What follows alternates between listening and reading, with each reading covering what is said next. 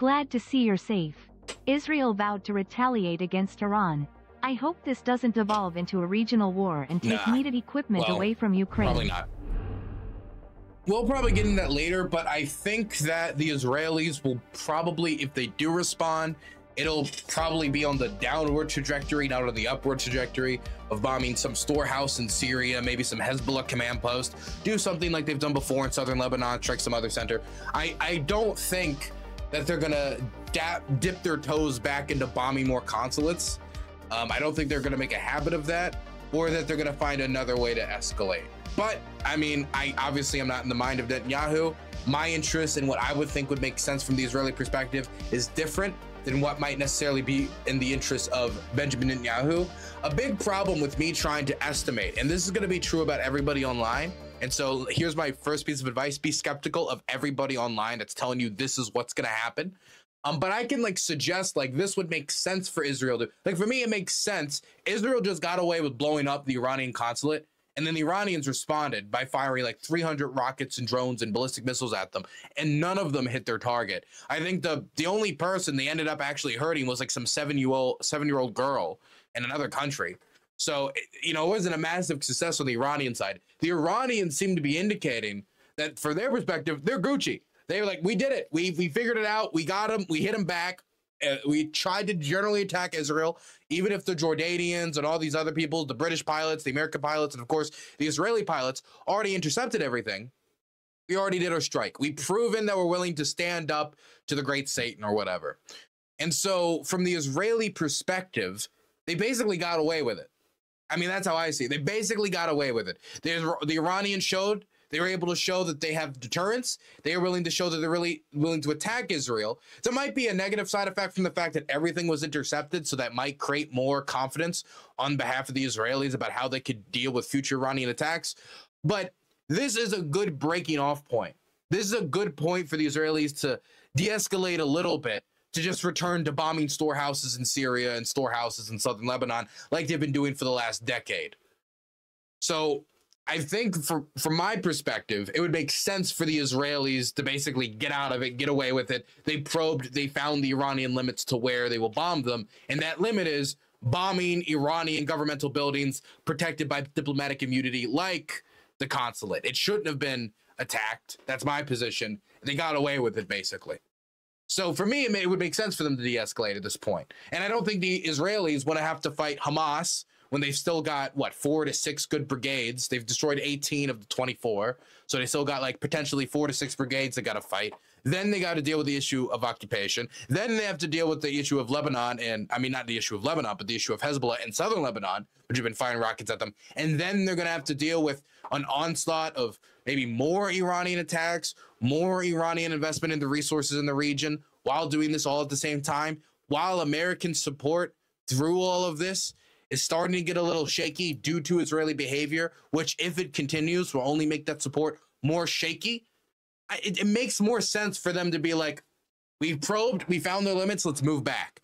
But that assumes that they're seeing it from this perspective and assumes that these are the only factors that they're considering. What would be the best way for Israel to get away with the most possible while not entering war? Uh, to probe, to find out where the Iranians are, which is what I think it was. And of course, to take out that high level commander, which they took out. But if there's another interest at play, say a political interest of Netanyahu, then I don't think this type of like purely like realist viewing of it's not purely realist, but semi like realist viewing of events is necessarily gonna is gonna work here. Because this is the problem with realism is these domestic factors. Well, it's one of many problems with realism, but one of the problems with realism is a lot of it disregards these domestic factors. It's the same problem that came with John Mearsheimer's analysis of the Ukrainians and the Russians, and a lot of realist analysis of, of different conflicts. And so, if the Israeli government has an incentive to keep the war going for political reasons and to just see if they can try to take out as many military assets as possible, hoping for some of, sort of popularity rebound or hoping that the chaos of the war will keep the Israeli public subdued enough to not call for elections until the fighting is over, that they can keep this weird type of unity government together enough to extend this to month after month after month after month, um, then the calculus changes. And now we're in a situation or territory that's a little bit uncharted and is going to be much more difficult for me to measure because then I'm measuring Israel's strategic interests and their state interests against Netanyahu's personal interests and his political interests. And I can't really show you where that clear dividing line is. And so, for anybody telling you that they know what's going to happen next, what was that? What was that thing I saw? What was that thing I saw that that that gave me a giggle? What was that thumbnail? Oh yeah. If anybody is showing you like thumbnails like this saying and I really, and I'm going to be honest with you, I really hate thumbnails like this. I really don't like this stuff. This type of stuff gets under my skin. If you see thumbnails like this, right? Treat it as fear mongering. That's what it is. It's fear mongering. Okay. Just because we're in territory that's a little unprecedented or we're breaking diplomatic norms through the blowing up of a consulate, which I'm not a fan of, by the way, that doesn't mean World War III is around the corner. And because we don't know where the personal political interest meets the state interest, it's very difficult for anybody to predict something like, say, World War III, or say, oh, this is going to escalate further because then the Iranians are going to try again so they can actually destroy Israeli military assets, or oh, now that the Israelis said they're going to respond, they're going to blow up another consulate, and then the Iranians will be forced to do an even bigger attack to establish deterrence. And as the attacks get bigger, wars become more likely. You can't determine this due to the issue I brought earlier of trying to distinguish the state interest versus the personal interest. And you can't do it because I'm going to be blunt. A lot of these commentators, I don't think, know much about the state interests or know much about the capabilities of the Israelis or the Iranians. Or, hey, what could the Iranians do with ballistic missiles? They got 99% of them intercepted this time. Like, could do they believe that if they, what if they were to do some bigger attack and then it had the same interception rate? Uh, would that help Iranian deterrence or would that hurt Iranian deterrence? These are questions I don't have an answer to. A lot of people don't have answers to. And certainly commentators on Twitch and YouTube from the alternative space without experience in the region, without professional experience, military experience, of reporting experience in these areas, don't listen to them if they're telling you World War III is about the corner, World War III is likely, et cetera, et cetera. Don't listen to it. It's nonsense. So I think if you were to ask me given all of the asterisks that I just gave about how it's difficult for me to judge the situation, this seems like the perfect place for the Israelis to stop.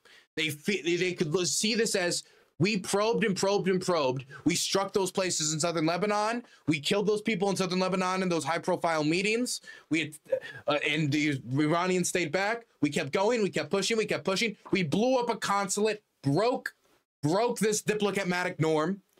We broke it right over our knee, killed this high ranking official, and then the Iranians punched back. It didn't kill anyone. They can get out of it generally scot free while having probed up to what they would say is the limit that Iran will allow it without doing direct strikes on Israel.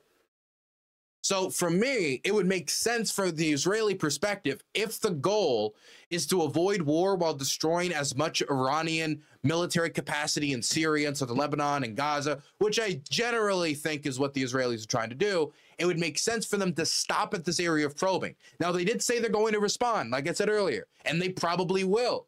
But that response, considering that the only person that was injured in this Iranian attack was a seven-year-old, uh, uh, uh, seven-year-old girl, uh, it allows them a lot more flexibility in their response because there's not going to probably big a big there's not going to be a big call in Israeli society kill Iran invade Iran war with Iran because they generally got off away with this scot free even though they broke the diplomatic norm.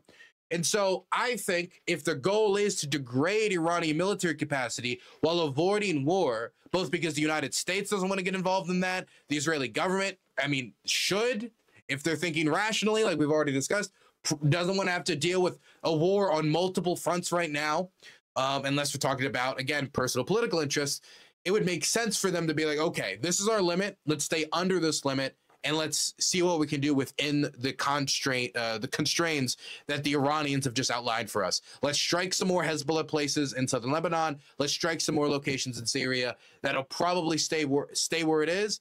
With the only real exception to what has been the case for the last 12, 14 years, ever since the Syrian civil war started, is going to be the strikes in southern Lebanon. That's at least how I see the likely scenario. Of course, I am saying this off of I'm type of taking the opinions of others, measuring them, putting them in myself, listening to their analysis. I'm taking my own judgment here as somebody who is not an expert in this specific region. Certainly, I wouldn't even say I'm a necessarily a Ukraine expert. I would say I know a lot more about it, considering I've been covering this war going on three years now on the ground. But that would be my estimation. But yes, don't listen to this. I don't know what I don't even know what the purpose of that type of fear mongering really is outside of like I, I really don't know. I like viewership is the main thing I'm thinking of.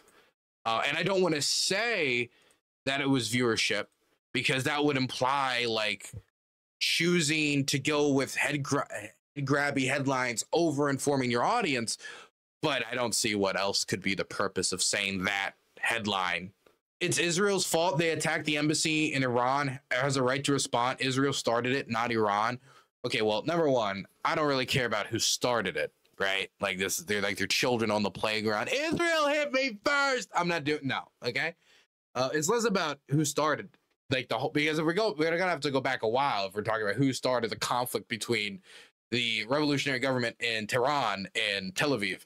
Uh, but my standard has been clear, and I've said this since the beginning. Striking the consulate put the Iranians in a position where they had no choice, no choice but to respond with force. I didn't know how they were going to respond. I said maybe they're not going to do a direct attack on Israel. Maybe they'll attack an Israeli consulate. And then Israel will be in the difficult position of having one of their consulates attacked after blowing up an Iranian consulate. And are they going to blow up another Iranian consulate?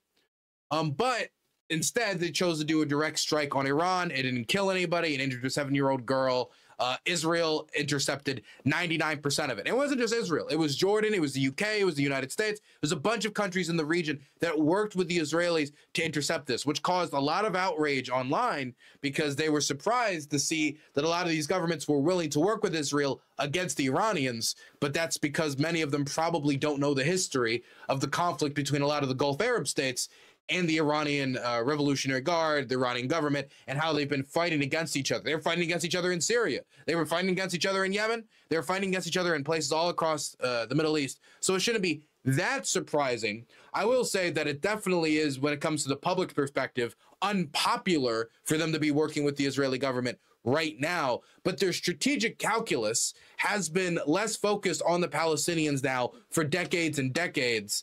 And so it doesn't surprise me particularly that much. Dovbin Alvelis, thank you so much for the tier one of being sub for 19 months. Thank you for your work. I appreciate it. I appreciate it. But yes, they shouldn't have, in my purview, because I, I like the diplomatic standard of don't strike consulates, right? Don't strike consulates. That's something that I like to hold as diplomatic standard. But at the end of the day, they struck the consulate. They justified it by saying that people in the consulate were some of those who organized the attacks. Um, I mean, whether or not we know that for sure, I have no idea. The Saudis are seeming to give that more airtime than uh, uh, than they were giving it before. I saw some certain statements from Saudi officials that seemed to suggest that they believe Iran might have been involved in the organizing of October 7th in some capacity, but I have yet to see any hard evidence. So I'm not going to believe Saudi press secretaries about the Iranian government or the Israeli government statements about it until I see more hard evidence. Right now, it's, it stays in the realm of allegations. Either way, the Iranian government from the perspective of, of just the geopolitics and making and like keeping deterrence, they had to respond. Because if they had the Israelis blow up their consulate, which they thought was safe because it would normally fall under diplomatic immunity, and it was still falling under, even if there's criminals in it, even if there's horrid genocidal warmongers in it, internet by international law and by those standards, it should have still been protected by immunity. And so they had to find some way to respond that would stop the Israelis from doing this again, or from the Israelis thinking that they could do this with impunity. That if they blow up Iranian consulates, the Iranians can't do that. I mean, what would have been the message of the Iranians had the consulate blown up and they just stood there and they were like, don't do that again, please. That sucked. That was a real mean move But then the Israeli government, Netanyahu's government, would take advantage. It'd be like, oh my God, we just blew up a consulate. It didn't do anything. We can get away Maybe we can do direct strikes on Iran, for God's sake. If we can get away with a strike on a consulate and there's no response, maybe they think a direct strike on Iran would facilitate, uh, like Iran as in the physical entity of Iran, even though technically a consulate is under international law part of Iranian territory. Maybe on the geographic body of Iran, we get away with that, and then it escalates further. Or they feel like they could strike more consulates. They feel like they can do this activity with impunity. Then Iranian deterrence would have been broken down. And so for the Iranians, it was as much of like probably political and ideological, uh, but largely it'd probably be uh, positioning and uh, and basically speaking with violence. And I hate, and that's a weird way to put it, but the statement the Iranians wanted to say was, "Do that again, expect more." And they didn't want this message to be sent being through an action. Do that again, eh. And so, yeah, I believe the Iranians were put in a position where they had to do something, and this is the something they did. And thankfully, nobody died. That's not to say I'm happy the Iranians bombed Israel. I'm just saying from their perspective, that's how they're viewing this. And that's the logic they're thinking about this under. Uh, that's kind of what upsets me about how the uh, this the way the U.S. and Western state officials have responded and framed this. It feels like they are trying to set the standard that bombing consulates and embassies are fair game. What's interesting is if you ask American officials in in reference to this, it, they'll be like, "Hey, what do you think of this?" And they'll avoid the question, and then you'll ask if you bomb, if somebody bombs your consulate, what will happen? Oh, we'll respond with force. Every single government in the world, if they had the ability to do a, a physical response to deter their enemies, would do what the Iranians would do here. Immediately when the attack happened, the first thing that hit my mind was, oh God, what are the Iranians going to do? Because I knew they, they were going to have to do something from their perspective. They have to just like any other country would have to from their perspective. In fact, can we bring up the David Cameron response? I think we have the David Cameron response. This response was probably the most obviously dodgy. Uh, we, I have this on AO6 because I wanted to talk about his response to the idea of shooting down Russian strikes in Ukraine. And we're going to talk about that in a little bit. But let's bring it back to where he's talking about the strike itself. I don't know where it starts, so we'll start from the beginning. But you can see he's asked by the interviewer here. And mind you, the interviewer asking him questions is a conservative interviewer. This is a very conservative interviewer. This is not as if I remember correctly. Wait, let me make sure that I'm not talking out my butt right now about who the interviewer is. Yeah, I believe so. I believe so, if I remember correctly. So this is not somebody who's like some lefty, like this is the conservative interviewer pressuring him on, well, I mean, do we endorse these types of attacks? and he just keeps dodging the question. And he even says, I'm not going to answer it. Let's see if we can find where this is. No, first, you're actually right about the bravery of. Ah, God, I had to spe- sped up. This is how I watch all videos off stream. It's like, well, not all videos, but videos like this at two speed to get through pilots. We were effectively backfilling for the Americans in the operation we've been doing for many years now to suppress Daesh, ISIL in Iraq and Syria. So we provided more planes for that. Okay, so American pause. Expected that the unexpected deal. While it's hardly unexpected that the UK and the US were there to help with Israel, how significant is it that Jordan also put up jets and intelligence? I understand. Okay, this is not the question I want to hear. I want to hear. Is this it? Where are you on the Iranian view that this? Here we go. Where are you on the Iranian view that this was only as a result of the bombing of the embassy in Damascus? Is that something that you've called out, Lord? By the way, the Iranian view. This is 100% why it happened. The Iranians did not bomb Israel because they bombed Gaza. If that was the case, if this had anything to do with Gaza, they would have bombed Israel before when the major civilian casualties were coming out of Gaza. There's still major civilian casualties coming out of Gaza, but the, when the numbers were much larger at the start of the operation, it, there would have been a million other points for the Iranians to have responded to the Israelis because of the operation in Gaza. It was only after the blowing up of the, of the consulate that they decided that they would go for a direct strike on uh, Israel from Iran. So when we say that's the Iranian view, that's the view. That's why they did it. That's when we take the Iranian, that is why they did it. I just want to be clear. This isn't the perspective of like state media. That is why the Iranian government did it. it's no surprise that after we killed Soleimani, the Iranians struck an American base. Why did they do that? Because we killed Soleimani. They wanted to establish some form of deterrence so that we wouldn't go around the Middle East assassinating all their high profile generals and undermining uh, their funding of different militias that have fought and butchered people in Syria and other countries in the region. Cameron. Well, look, I think if you look at the scale of what Iran was trying to do, you know, 110 ballistic missiles, 36 cruise missiles, 185 drones, it's sometimes portrayed 300, 300 objects in total. I think a little bit over 300, actually. Portrayed this attack as a sort of drone swarm, swarm. But actually, you know, the use of ballistic missiles in a state-on-state attack is a very significant move by Iran. Very dangerous, very reckless. Fortunately, it was an almost total uh, failure. But I don't think it was justified in any way by reference to what happened in um, Damascus. Um, but look, I think now the most important thing, the Israeli war cabinet. Here, here will be my question to any Western diplomat on this. What would you have done? If someone attacked and bombed your consulate and killed, let's say it was the director of the CIA or some high profile CIA official or MI6, since we're talking about the British, which is their version of the CIA, but just more cringe. Um, what would you do? Is there any way for you to respond to that without violence? Is how do you respond to that in a way that maintains deterrence, discourages people from doing it again, and is satisfactory to your civilian population? Which, by the way, if you look at the memes on Iranian Twitter, they're not happy with the strike because it didn't do anything. They everything was intercepted. Eh, eh, wow, you injured a seven-year-old girl. Israel has fallen. Tel Aviv is in the hands of the of Hamas. It, it didn't do anything. I remember I saw this one meme, and it was I, I can't I, I, can't believe I'm describing this in audio form. It's actually more beautiful that I describe it this way than I just show it, so I make it more awkward.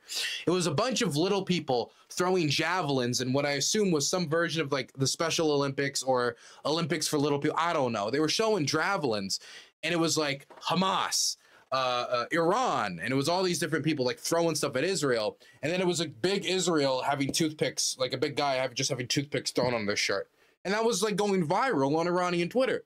They're not happy with the response in of itself because they thought it was too uh I don't know what word to use besides pansy. It was it was soft. It was uh there was no firmness in the wrists. I don't know what else to say here. So, I mean, what would you do? That would be my question. What would you do if your consulate was attacked? Would there be a nonviolent response? What could the Iranians or should have the Iranians have done? That's and that's a follow up question. What would you have done in the situation, and what should the Iranians have done? Um, but look, I think now the most important thing, the Israeli war cabinet has been meeting. They have every right to respond, and you'd understand that as an Israeli citizen, you'd be thinking, my country came under attack, we must respond. We're asking them as their friends to think with, with head as well as heart, to be smart as well as tough, to recognize Iran has failed, and the best way to de escalate this situation is not to attack back, but instead to focus on Hamas's failure to release the hostages and the failure to agree to a, a pause in the fighting in Gaza because we badly need to get aid in there and get the hostages home. I, I will come back one last time to that question, though. if, if Israel was responsible for the bombing in Damascus, are you critical of that? Okay, that's a reframing of the question, but it is hammering the same point. I think maybe some follow up questions would have been better. Like, if he won't answer this question, which, spoiler alert, he keeps avoiding it, then you got to follow it up with other questions. Okay, then what would you do if America, if the British consulate in Jordan was blown up and it killed an MI6 official, what would you do?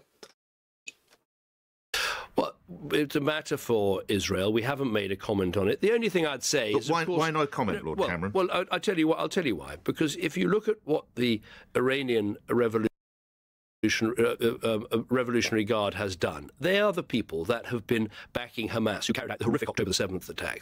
They are the people who've been backing the Houthis, bombing ships in, in, the Red Sea, irrespective of what country they come from. They are the people that back Hezbollah, launching missiles into Israel. Okay, he's he's saying a bunch of stuff out. He's throwing a bunch of stuff out there. And look, the guy who was killed probably awful. If you see the different groups that the IRGC backs throughout the Middle East, like Hezbollah, which butchered Assyrians in Syria, worked with the Assad regime to butcher his own people. If you look at the type of behavior that other militias, it's not nice, it's not lovely, really bad behavior. But we all benefit, every state, including the United Kingdom, from the diplomatic standard of consulates and our buildings overseas being off limits. If that is degraded by the Israelis, if that is degraded by anyone, quite frankly, that doesn't just affect them, it affects us. If the view is, oh, consulates are on the table as military targets, then what about our intelligence assets that moves from different consulate buildings? Let's not pretend that we don't use the consulate buildings to move, uh, you know, intelligence assets or different things that are of use to us. Or we don't take high-profile officials, put them in there under the assumption that they'd be safe in these buildings. And so it feels like instead of dealing with the conundrum where he knows that the United Kingdom benefits from this, but also the Israelis really hate and the British and the Americans really hate the IRGC, uh, because of this, they just decided to take the no opinion option. I don't know if you ever do like the those like political compass tests. They've got strongly agree, strongly disagree, no opinion. He just keeps spamming the middle, no opinion, no opinion, no opinion. Israel and causing, you know, remember there are about 100,000 people in the north of Israel who can't go to their homes because of Hezbollah. So, uh, can I understand Israel's frustration with the IRGC? Yes, I absolutely can. Do I think Iran's response with this state on state attack was justified? No, it wasn't. Unfortunately, it was an almost total failure. But it wasn't justified to bomb an embassy in Damascus, was it? Uh, as I say, I'm not getting into what right. Israel has or hasn't done. Can we talk about what has or hasn't done? What is that even? So you want to have a conversation about British planes intercepting Iranian missiles striking Israel, but avoid the incident that incited said strikes and could, if repeated in the future, incite more strikes, then involving British airmen and more interceptions. No comment whatsoever. No comment. I, I mean, the follow up question would be I already told the two follow up questions, but another follow up question would be why do you think you can't answer that? Why do you think it's fair that you don't have to answer that question if British airmen will be risking their lives to some degree to intercept these missiles? I mean, it's not a, it's not like they're all going to die or something, but I mean, anytime you take one of these planes and you fly out, especially if you're engaging in intercepting, you're flying close to these things, it's going to come with risk if you start to involve these planes in direct military operations.